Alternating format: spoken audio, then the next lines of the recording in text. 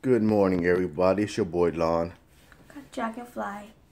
and we, well, my daughter Lana found a dragonfly, so we're just taking pictures of it. It's beautiful. Check it out. Check it out. Y'all see it? Y'all see it? Okay. Say hi, Lana. Say good mm. morning, everybody. Good morning, everybody. All right, y'all have a good morning. Enjoy y'all day.